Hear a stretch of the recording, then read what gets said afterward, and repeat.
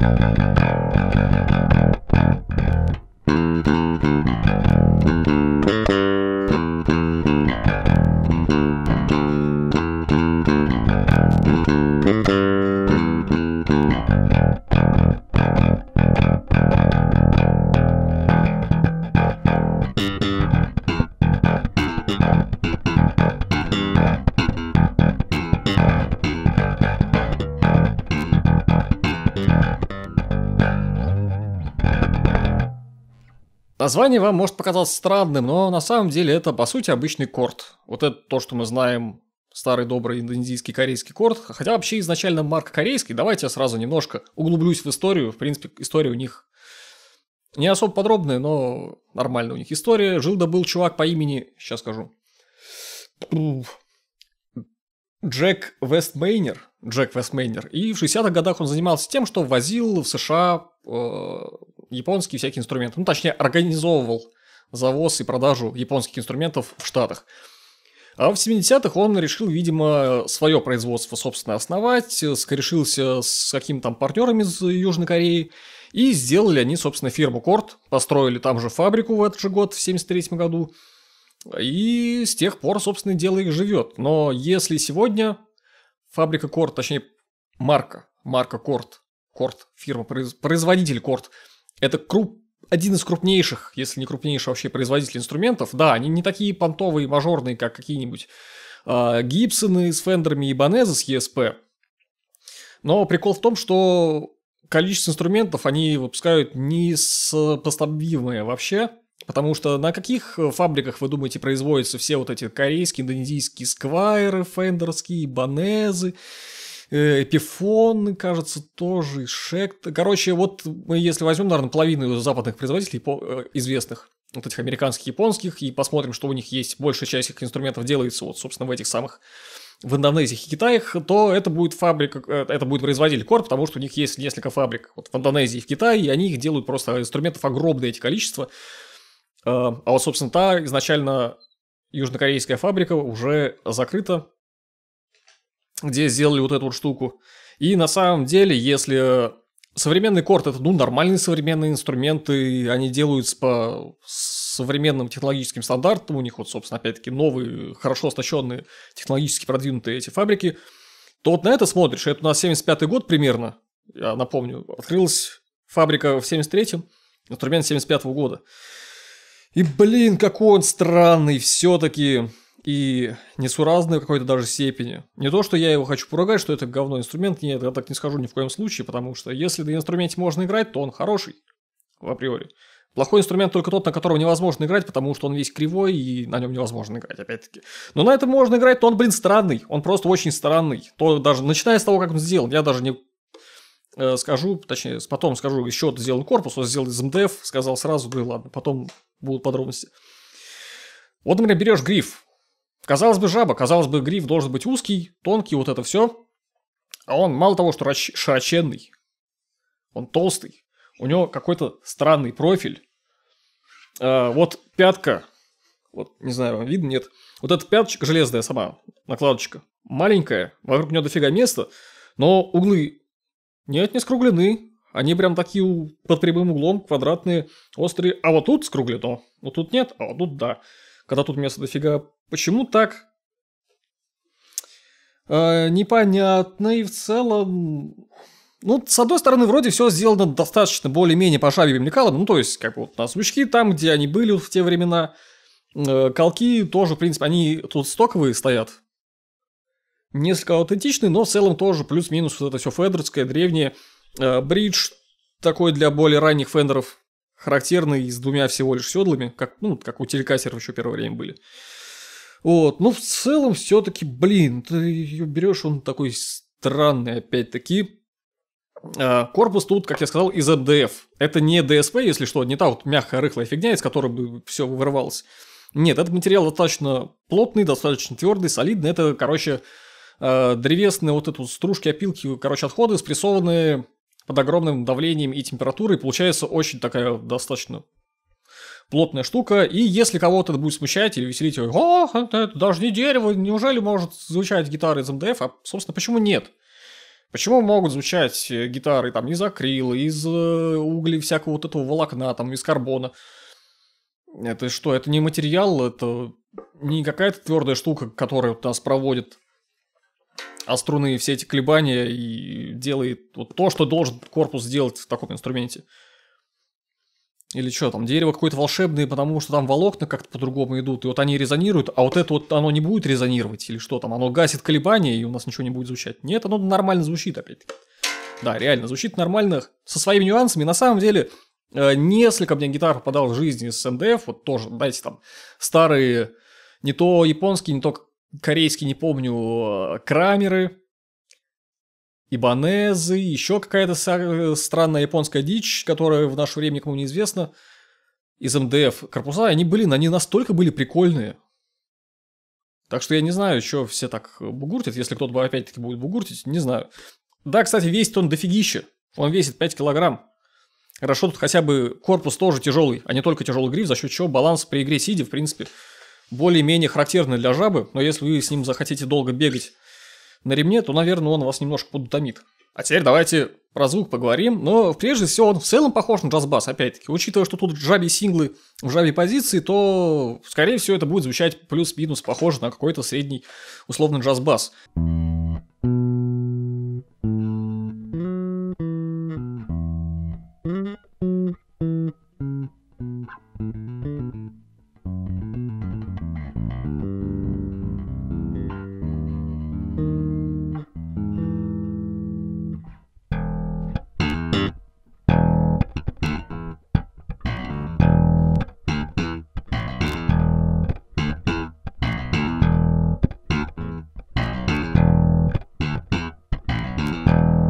Но есть нюанс. Вот в обзоре ESP я говорил, что он прям такой, он злобный, как приятно он раскрывается, когда ты повышаешь атаку и хочется все сильнее и сильнее из него вырывать эти ноты, как он классно это отреагирует.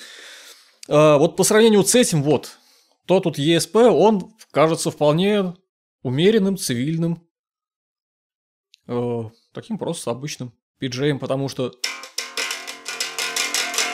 вот эта штука намного более злая. Просто капец, блин.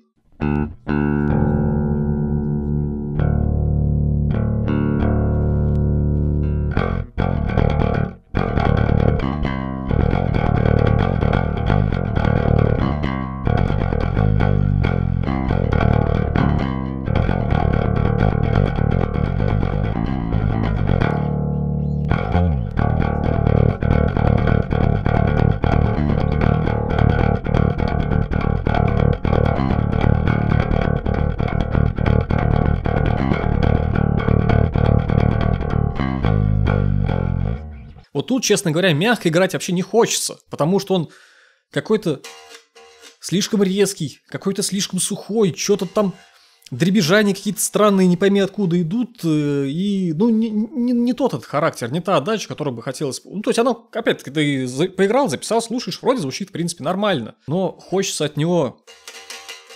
Хочется сделать по-другому.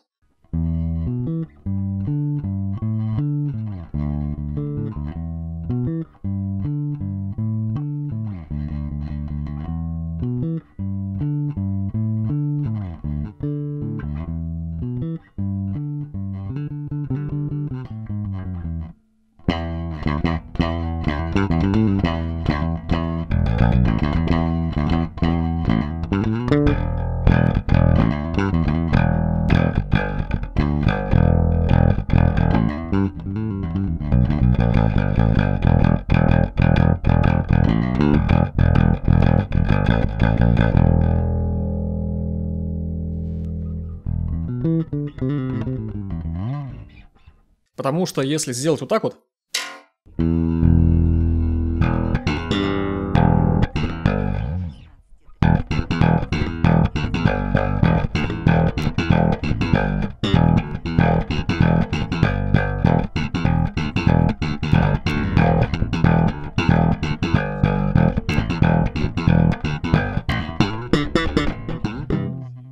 Блин, я давно не слоповал на самом деле на инструменте с таким кайфом.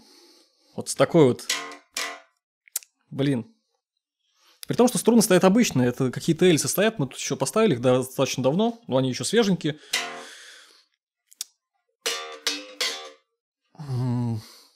Слоповать прям вообще офигенно и... Я часто комплексую из-за того, что у меня довольно корявые подцепы, я да, я знаю, что над этим надо постоянно работать, потому что я в своей обычной игре не так часто это использую, но для обзоров надо, я пытаюсь, пытаюсь. А тут это делается настолько легче, чем я привык обычно на других басах даже, на нормальных басах. То ли за счет того, что тут накладка достаточно э, близко к накладке грифа. Накладка вот эта, накладка грифа, и места тут получается мало. Хотя обычно, наоборот, делают больше места, чтобы типа больше было пространства. Но мне так почему-то, наоборот, кажется удобнее. И вот это удобство, и вот эта вот отдача, при том, что я, да, я сказал, что вот прям хочется на нем струны драть, но при этом можно играть очень от души, очень агрессивно. Вот это, знаете, вот, собственно, как Жабл мне напоминает не Маркуса Миллера там, или не э, Грэма, а э, юного Фли. Вот, знаете, если читали книжку Энтони Кидиса, где он писал, как Фли просто расхерачивал палец в кровяку своим слэпингом этим диким, заливал это потом клеем БФ и продолжал сквозь боль фигачить, Э, ну, в принципе, да, если вы слушали ранее Red Hot Chili Peppers, по партии там реально просто фри был, блин, бешеный по сравнению с тем, как он потом успокоился. Вот, вот этот инструмент провоцирует что-то такое, только палец кровь разбивать не обязательно, потому что я тут сидел несколько часов к ряду к ним несколько дней назад, и потом еще сидел. И просто вышибал из него дерьмо прямо от души, но пальчик себя чувствует конкретно, а пальчик себя чувствует хорошо, потому что, опять-таки, как бы, вроде ты вкладываешься, но это не перерастает в физическое какое-то вот избиение пальцев. Ты, опять-таки, можешь чувствовать ту грань, а сколько надо извлекать. Сильную грань. От души, но в то же время как-то, блин, не знаю. В этом плане он мягкий, если это вообще слово тут применим, нас, учитывая, насколько этот ублюдок жесткий, прям, блин.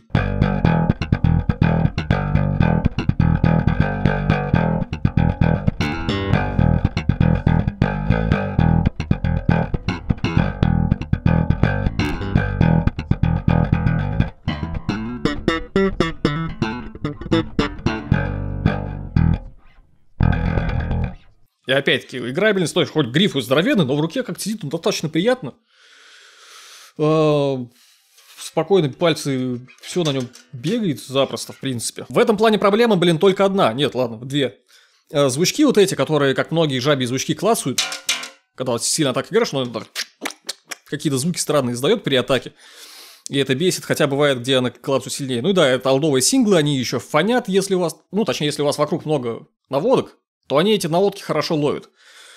Э, лучше многих других, но это опять-таки типа винтажные олдскульные звучки, не с самым высоким выхлопом, это плата, так сказать, за аутентичность, ну и опять-таки как бы это можно в целом использовать по жизни обычно. И то, что просто очень трудно мне себя, с ним держать себя в руках и придерживаться какого-то темпа, потому что чуть что сразу начинаешь сходить с ума, сразу руки начинают бегать, голова начинает... Ну окей, а что если мы не хотим? Не хотим. Что если мы не хотим играть с лэпом? Что если мы хотим играть медиатором?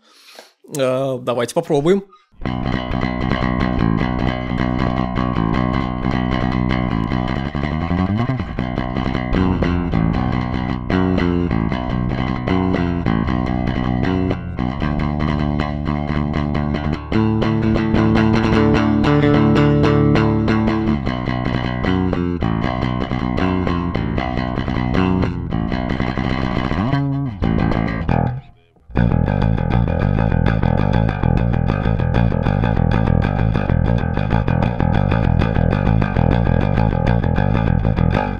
В принципе, то же самое. Я, мне вообще в голову ничего не идет. Мягкое какое-то что-то такое. Даже те штуки, которые я обычно играю, лю- люблю играть, медиатором всякие вот такие штуки, что-то, как по мне, я поиграю, ну, вроде оно тоже как бы ничего звучит, вроде нормально, но потом...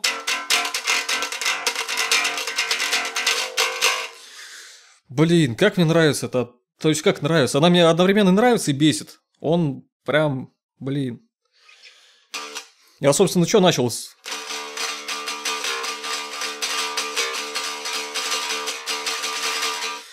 Просто сразу, это первая мысль, что в голову придет, сразу вспоминаешь всех ты чуваков, которые вот именно с такой отдачей постоянно фигачат просто, блин, бескомпромиссно. Все время. М-м. Притом проблема вот этих звучков тоже сохраняется в какой-то степени.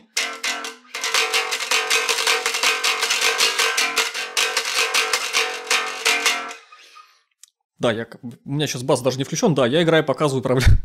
То, как чпякают звучки при сильной атаке, да. Э, вот, короче, есть, опять-таки, такая фигня, но в целом она есть на множестве даже более умеренных джаз-басов в андроидах. Я, блин, не понимаю, зачем делать такие звучки тогда, сюда, наоборот, сейчас. Я понимаю, почему они были тогда. Я понимаю, почему в итоге стали делать многие нормальные звучки, делают их не такими классующими.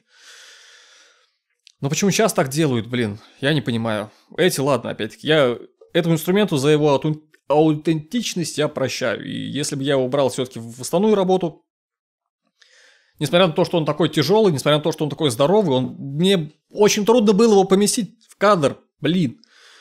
При том, что жабы, они в принципе как бы здоровые, но этот будто, я не знаю, что отличается, но м- вот Прям вот прошлый обзор полная противоположность. Он маленький, компактный, он удобный, он звучит, ну, в целом нормально, но при этом я не мог сказать, что что-то меня в нем э, так торкало. Типа звучит и звучит, ну и хорошо, звучит, нормально пойдет. А этот просто мне выносит башню сразу. Он меня выводит из равновесия, и с одной стороны это прикольно, это яркие эмоции, это классные эмоции. Инструменты в том числе должны давать эмоции тоже. Опять-таки, не обязательно на инструмент смотреть как на что-то такое практичное, удобное, э, чисто под выполнение необходимых задач с точки зрения практичной, практической. Но иногда что-то должно быть такое вот задорящее, веселящее. И на чем, на чем, о чем я думал вообще? Вот, короче, такая вот фигня. И, а, да, и что еще, да, если мы вдруг хотим играть, не знаю, пальцами, как вот эти всякие дестеры, то, блин, вперед, просто вперед из песней. С песней Cannibal Corpse или чем-нибудь таким.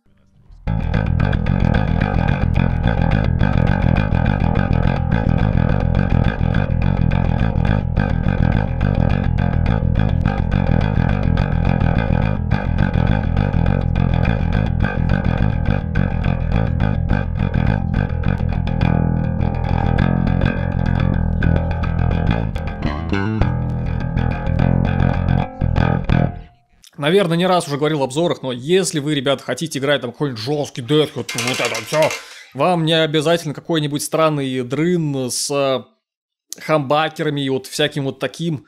Иногда жабы просто такую задают планку, не, не планку, задают офигенный, короче, офигенный тон. Жабы иногда в этом плане офигенно звучат, когда вот таким вот макаром на них высекаешь, классный тембр, э, и отдача, в принципе, приятная. Форм-фактор, конечно, на любителя, но не избегайте, короче, пассивных жаб. Не думайте, что это что-то такое беззубое. Вот опять-таки, Бахус, Бахус, Бахус, хендмейды. Что вот у меня был на обзоре когда давно пятиструнный жаб, мне кто-то постоянно напоминает, что вот круче этого жаба у тебя до сих пор не было ничего. Я, в принципе, согласен, да, та жаба была лютая. Сюда еще один при такой же жаб приносили такой же лютый, просто, блин, не баса, машина, зверь, убийца. Э, хотя, вот по сравнению с этим, тот, конечно, был все-таки такой там. Там мод же было, здесь мод же... Это изделие, ощущающееся так, будто его сделали в гараже по картинке. Даже у них не было чертежей нормальных, чтобы сделать фендер. Они просто по картинке все делали. Из журнала вырезали, обвели и сделали макеты. И еще в ремонт как-то заносили Бахус пресс PJ, тоже handmade. Блин, крайне лютый. Вот это мне на это напомнил. Также просто мне сразу башню выносит с них, я начинаю драть струны как бешеный, блин. А. Кто такого описания не испугается, захочет попробовать, то, как водится, добро пожаловать в Good Санкт-Петербург, Казанская 7. Можете сами пощупать, если он не уйдет. А он на самом деле висит очень долго.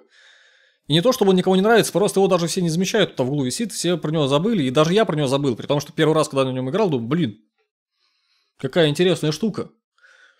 Но обзор я сделал когда-нибудь потом, и вот время шло и шло и шло и шло, бас висел, висел, висел, висел, что-то все по нему подзабили, а сейчас я вот когда слепой тест недавно записывал, взял его, офигел просто с того, насколько он лютый, Подумал, блин, а что до пор до, до него до, до этого не добрался? Надо его снимать. И вот я его снимаю, и надеюсь, что вам он понравится так же, как и мне, или, а может и нет, опять-таки, пишите, какие у вас впечатления по поводу этого. А, купить его можно какое-то время, Кого-то, конечно, цена возмутит, типа, блин, не должна такая штука, вот эта непонятная южно-раннекорейская, раннекорейская, стоить как, ну, в принципе, какой-то средний нормальный бу-японец. А, прикол в том, что средний нормальный бу-японцы таких эмоций, таких впечатлений не дадут. Такие инструменты хрен найти. И, собственно, цена, откуда вы думали, они взята? Она взята. Вот по чем они последние штуки продавались где-нибудь на ревербе несколько лет назад. Вот за образец такая цена и была взята здесь. Потому что, ну, дешевле ты их не найдешь все равно. А то, что найдешь, Значит, другие басы, что можно купить дешевле, более кстати, современные, более обычные, или какие-нибудь там японцы обычные, китайцы обычные. Но они более обычные, это не то. Ну да, там не все, конечно, обычные, есть среди них басы более такие себя раз такие, но это тоже не то. Это вещь уникальная, и в этом, собственно, ее ценность. Так что, опять, заходите, послушайте, проценитесь, про чувствуйтесь, или лучше не надо. Вы поняли, короче, Good Guitars. Тут еще сервис, тут еще обмен, продажа, тыры-пыры. На мои паблики подписывайтесь ВКонтакте и в Телеграме. Большое спасибо всем за донаты, очень меня поддерживаете. Не хочу искать новую работу, хочу дальше пилить видосики. Я надеюсь, вы тоже. А, и до новых обзоров, которые я буду, а, которые, я надеюсь, будут более адекватные. Всем пока.